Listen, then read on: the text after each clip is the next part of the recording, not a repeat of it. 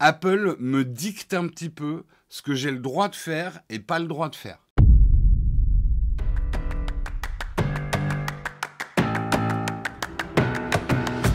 Tim Cook euh, a fait des révélations pendant le barbecue ce week-end, tout à fait.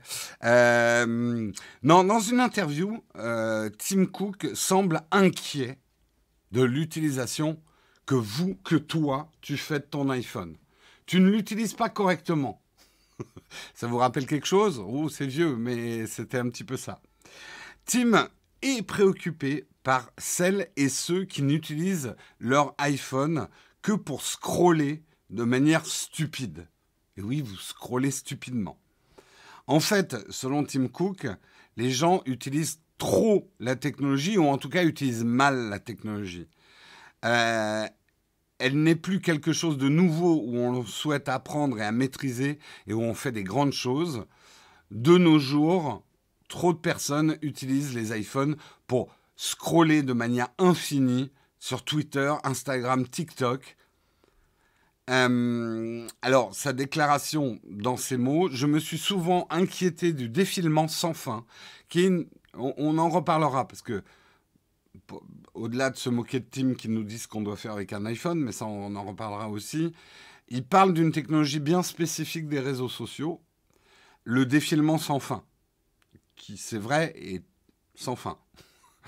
Euh, donc Tim nous dit, je, suis souvent, je me suis souvent inquiété du défilement sans fin, du fait de s'entourer de négativité et ainsi de suite. Et donc mettre en valeur une entreprise comme Shine, alors là il parle euh, effectivement d'une application Shine qui lutte contre la négativité euh, qui entoure les soucis de santé mentale. Donc ils veulent mettre en valeur chez, euh, chez Apple une, une, une, application comme Shine qui incite les gens à aller la découvrir. C'est une excellente utilisation de nos technologies parce que cela sert l'humanité.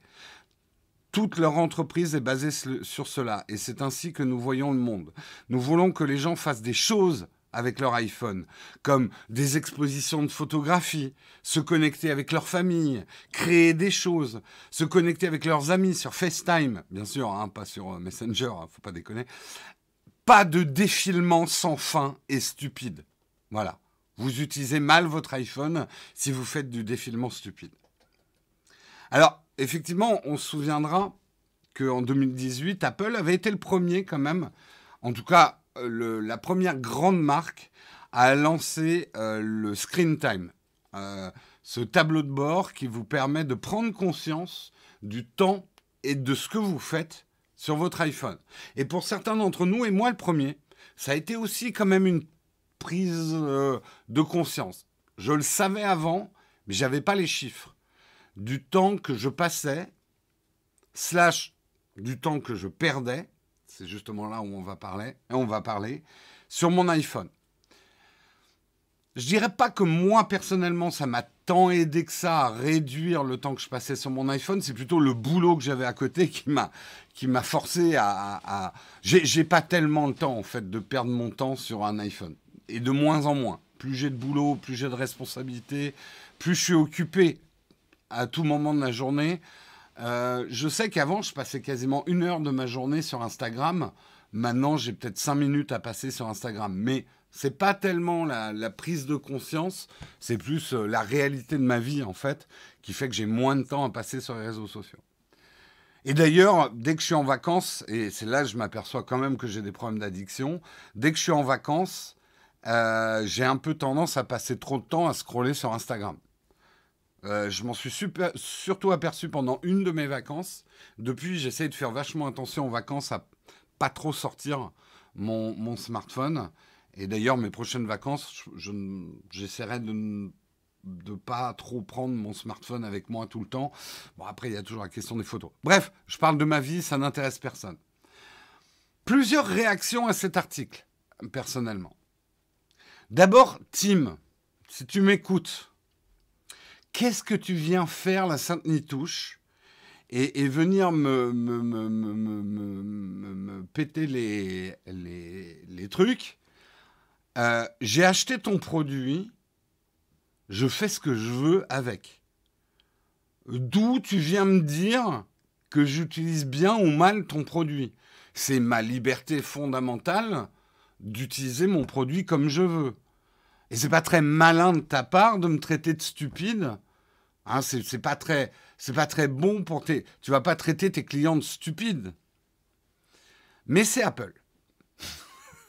c'est Apple. Apple a une longue histoire de traiter ses clients de stupides. Déjà, Apple a tendance à nous prendre pour des idiots, ne serait-ce que dans leur interface. Apple a très très peur qu'on dérègle leurs produits.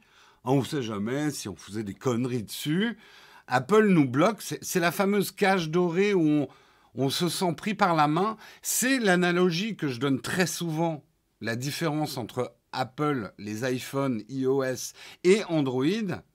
Sur un iPhone, vous êtes à l'hôtel. À l'hôtel, c'est chouette, tout est bien rangé, c'est clean, c'est une déco originale, enfin, imaginons que vous êtes dans un bon hôtel. Mais vous ne faites pas ce que vous voulez dans un hôtel. Vous n'êtes pas chez vous. Et c'est toujours, encore aujourd'hui, la sensation que j'ai sur un iPhone. Je suis jamais complètement chez moi. Apple me dicte un petit peu ce que j'ai le droit de faire et pas le droit de faire. Je ne peux pas aller régler finement mon iPhone. Et l'autre côté, c'est Android, où je suis chez moi. J'aime beaucoup la sensation de liberté d'Android. La résultante, c'est comme c'est chez moi, parfois c'est un peu le bordel. J'ai personne qui vient nettoyer derrière. Et voilà, c'est la différence entre la chambre d'hôtel et chez vous, en fait. Pour moi, c'est encore aujourd'hui, même si c'est moins tranché qu'autrefois, la différence fondamentale entre les iPhones et le reste du monde. Hmm. Mais ça m'énerve quand même. Là, là c'est ma première réaction à cet article. Ça m'énerve qu'on vienne me dire ce que je dois faire sur un appareil que j'ai payé avec mon argent. Et à partir du moment où j'ai acheté cet appareil, il est à moi. Oui, mais pas tout à fait en fait. C'est ça qui arrive quand on achète un produit Apple.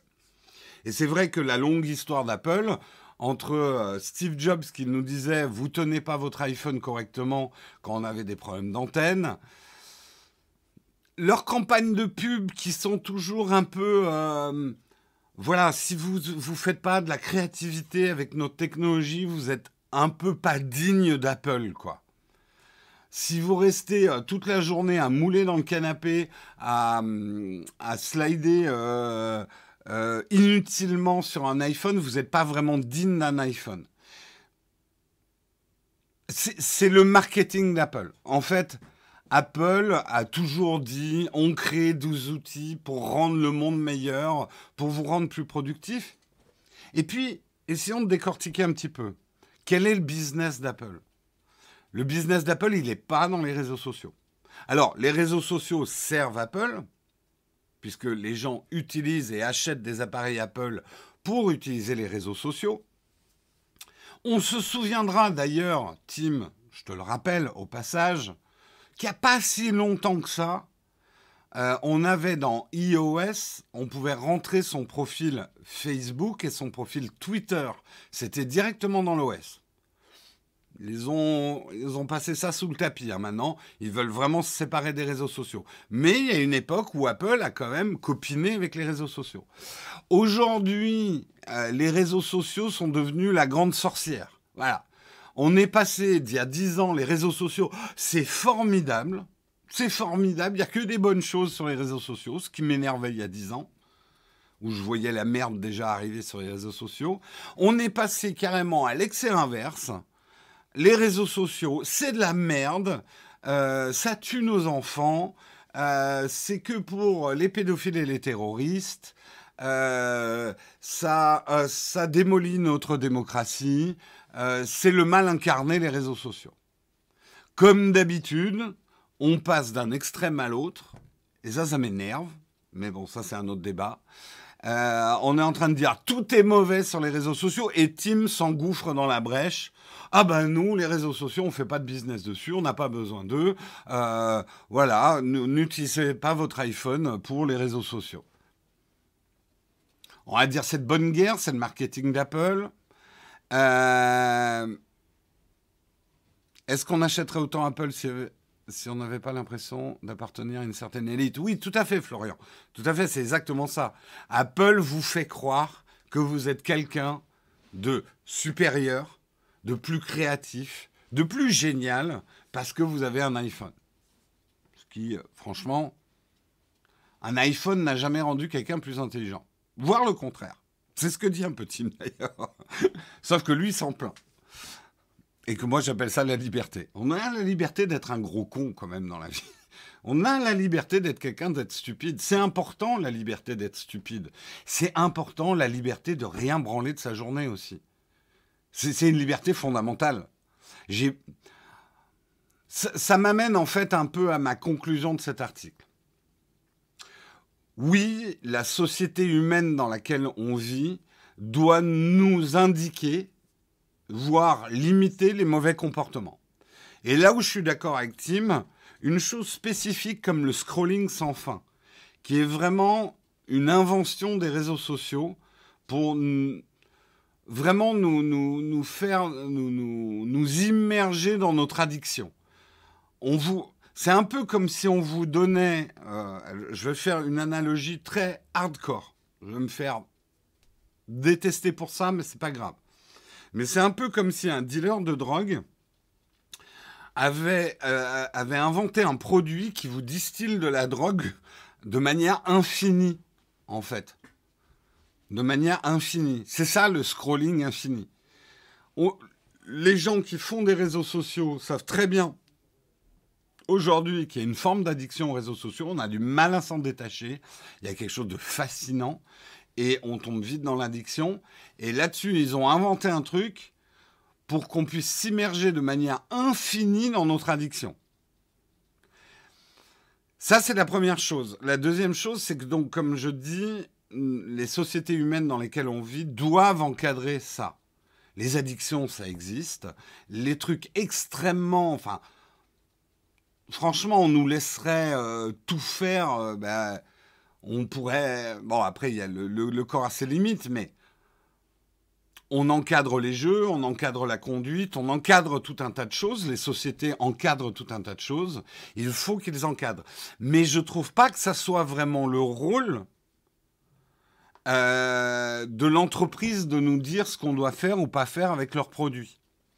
C'est un débat complexe, hein. ça revient un petit peu aux, pensées que j'avais l'autre jour, qui était une entreprise peut-elle peut être morale et une entreprise doit-elle être morale? Est-ce que la recherche de profit, qui est le rôle numéro un d'une entreprise, euh, et c'est pas un sale mot, hein, la recherche de profit, c'est la création d'activités économiques, euh, est, est-elle compatible avec une recherche morale et une entreprise doit-elle dicter finalement les règles morales de l'utilisation de ces produits? C'est un vaste débat. Moi, je pense que c'est plutôt le rôle de nos sociétés civiles euh, d'encadrer les entreprises. C'est bien qu'une entreprise se freine euh, sur certaines choses, mais de là à nous dire ce qu'on doit faire ou pas faire avec leurs produits, je ne sais pas. Je sais pas, je sais pas. Hmm.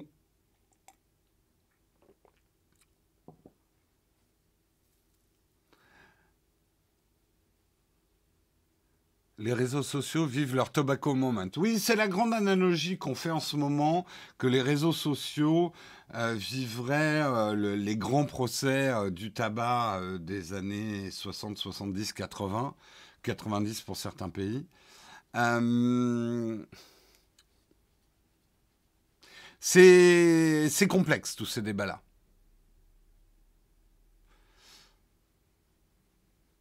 Entreprise morale, j'ai eu ça en philo il y a quelques années. en fait, c'est un, un débat super intéressant. La recherche de profit peut-elle s'accompagner de moralité? Et même, je dirais sous paragraphe, est-ce qu'on peut accepter qu'un industriel comme Tim Cook nous fasse la morale? C'est complexe. C'est complexe.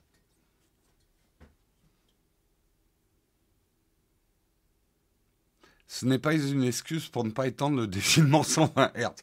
J'aime bien que certains restent complètement terre à terre dans ce débat. La vraie question philosophique que Apple pourrait nous aider à résoudre, peut-on utiliser un iPhone aux toilettes? Alors là, j'ai une réponse. oui, vous pouvez utiliser un iPhone aux toilettes si vous voulez, mais attention à ce que vous faites. rester trop longtemps sur le trône déclenche des crises hémorroïdaires. Et c'est très sérieux ce que je dis. Et je sais pas, je suis pas médecin, j'ai pas eu des études là-dessus. Mais j'ai peur qu'on ait des vagues d'hémorroïdes chez les plus jeunes à cause des smartphones. Et c'est embêtant. Ça peut être très très embêtant. Alors, si j'étais le fabricant de préparation H, sans leur faire de pub, je serais ravi de cet état de fait. Mais toute une société qui a du mal à s'asseoir, bon, vous me direz, comme ça on resterait plus debout, c'est bon pour la santé aussi, je sais pas.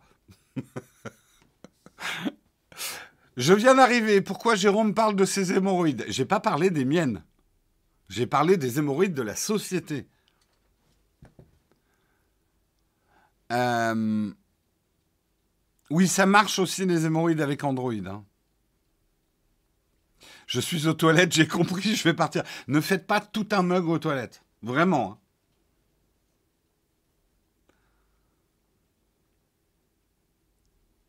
Euh, avec les WC turcs, problème réglé. Ah, c'est pas facile les WC turcs. Hein. Bref. Et puis, bien évidemment, hein, euh, les règles sanitaires, hein, aux toilettes, il y en a aussi. Hein. C'est pas porter le masque. Bref. N'empruntez pas le téléphone de quelqu'un avant d'aller aux toilettes. C'est pas bien, c'est pas. Hein. Bref, fin de cet article. Je sens que je suis en train de partir. Mais Tim Cook, juste pour conclure. Ok, je comprends ton message marketing, mais me la fais pas. Viens pas me faire le père la morale je fais ce que je veux avec ton produit, hein, d'abord, première chose. Deuxièmement, je comprends que tu tiens ton rôle. Euh, voilà, là, euh, les iPhones, c'est des trucs créatifs. Mais je réclame quand même mon droit de faire de la merde avec mon iPhone si j'en ai envie. C'est mon problème.